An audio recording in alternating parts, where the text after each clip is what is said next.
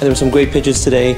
Early stage, promising, um, really awesome entrepreneurs that uh, are going to be doing some pretty cool stuff and to keep in touch with to see how they're doing over time. We try to pitch at as many events as we can to create visibility and also out of every pitch comes an opportunity. There were a lot of judges in the room, so it was a little more nerve-wracking than normal.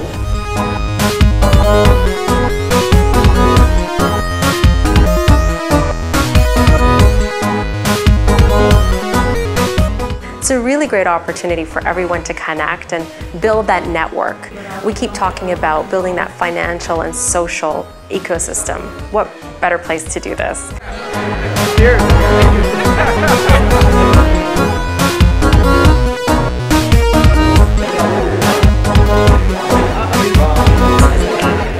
then we found this, we got this huge trophy, so that's a huge trophy.